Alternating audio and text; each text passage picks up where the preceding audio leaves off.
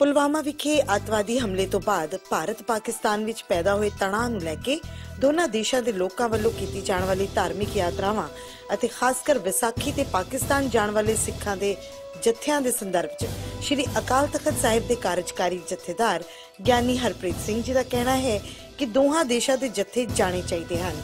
ਆਪਸੀ ਵਪਾਰ ਹੋਣਾ ਚਾਹੀਦਾ ਹੈ। ਸ਼੍ਰੀ ਕਰਤਾਰਪੁਰ ਸਾਹਿਬ ਰਸਤੇ ਨੂੰ ਲੈ ਕੇ ਉਹਨਾਂ ਕਿਹਾ ਕਿ ਉਹ ਜਗ੍ਹਾ ਕਿਸਾਨਾਂ ਦੀ ਹੈ, ਗੁਰਦੁਆਰਾ ਸਾਹਿਬ ਦੀ ਨਹੀਂ।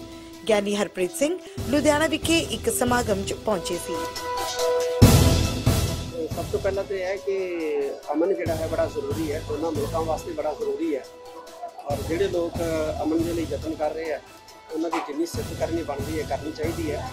ਔਰ ਬਹੁਤ ਸਾਰੇ ਐਸੇ ਲੋਕ ਵੀ ਹੈ ਦੋਨਾਂ ਤਰਫਾਂ, ਜਿਹੜੇ ਜੰਗ ਨੂੰ ਜਿਹੜੇ ਬੜਾਵਾ ਦੇ ਰਹੇ ਆ ਉਹਨਾਂ ਦੀ ਜਿੰਨੀ ਨਿਖੇਧੀ ਕੀਤੀ ਜਾਵੇ, ਉਹ ਵੀ ਉਨੀ ਥੋੜੀ ਹੈ। ਤੇ ਮੈਂ ਸਮਝਦਾ ਕਿ ਕਰਤਾਰਪੁਰ ਸਾਹਿਬ ਦੇ ਲਾਂਘੇ ਦੇ ਵਿੱਚ ਕੋਈ ਕਿਸੇ ਕਿਸਮ ਦਾ ਵਿਘਨ ਜਿਹੜਾ ਹੈ ਉਹ ਨਹੀਂ ਪੈਣਾ ਚਾਹੀਦਾ ਕਿਉਂਕਿ ਇੱਕ ਧਾਰਮਿਕ ਭਾਵਨਾਵਾਂ ਨਾਲ ਜੁੜਿਆ ਮਤਾ ਹੈ।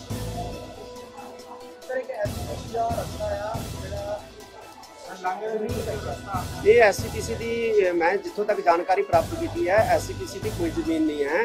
ਡੇਰਾ ਬਾਬਾ ਨਾਨਕ ਗੁਰੂ ਨਾਨਕ ਸਾਹਿਬ ਦੇ ਗੁਰਦੁਆਰੇ ਦੀ ਜ਼ਮੀਨ ਹੈ ਉਹ ਵੀ ਇੱਕ ਸਾਈਡ ਤੇ ਪਈ ਹੋਈ ਹੈ। ਹਾਂ ਉਹ ਸਾਈਡ ਬਹੁਤ ਸਾਈਡ ਤੇ ਪਈ ਹੈ। ਉਹ ਰਸਤੇ ਦੇ ਵਿੱਚ ਨਹੀਂ ਆਂਦੀ ਜ਼ਮੀਨ।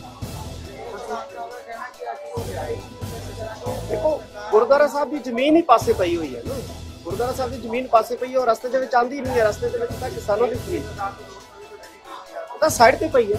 ਉੱਥੇ ਦੀ ਤਾਂ ਲੰਘਾ ਬਣਨਾ ਹੀ ਨਹੀਂ ਹੈ ਨਾ ਬਣਨ ਦੀਆਂ ਸੰਭਾਵਨਾਵਾਂ ਨੇ। ਉਹ ਤਾਂ ਕਾਫੀ ਦੂਰ ਹੈ ਡੇਰਾ ਬਾਬਾ ਨਾਨਕ। ਜਾਣੇ ਚਾਹੀਦੀ ਹੈ ਜੀ ਜੱਥੇ ਜਾਣੇ ਚਾਹੀਦੀ ਹੈ ਫੇਰ ਹੀ ਮਾਹੌਲ ਠੀਕ ਹੋਏਗਾ। ਅਗਰ ਅਸੀਂ ਜੱਥੇ ਰੋਕ ਵੈਸਾਖੀ ਤੇ ਹਾਂ ਜਾਣੇ ਚਾਹੀਦੇ ਆ ਮ- ਅਹ, ਸਭ ਕੁਝ ਹੋਣਾ ਚਾਹੀਦਾ ਹੈ। ਵਪਾਰ ਵੀ ਚੱਲਣਾ ਚਾਹੀਦਾ ਹੈ ਟ੍ਰੇਨ ਵੀ ਜਾਣੀ ਚਾਹੀਦੀ ਹੈ ਬੱਸਾਂ ਵੀ ਜਾਣੀਆਂ ਚਾਹੀਦੀਆਂ ਕਿਉਂਕਿ ਫੇਰ ਹੀ ਮਾਹੌਲ ਦੋਨਾਂ ਮੁਲਕਾਂ 'ਚ ਸੁਧਰੇਗਾ ਜੇ ਅਸੀਂ ਬਿਲਕੁਲ ਬਿਲਕੁਲ, ਬਹੁਤ ਵਧੀਆ ਗੱਲ ਹੈ। Bureau report, Ludhiana view.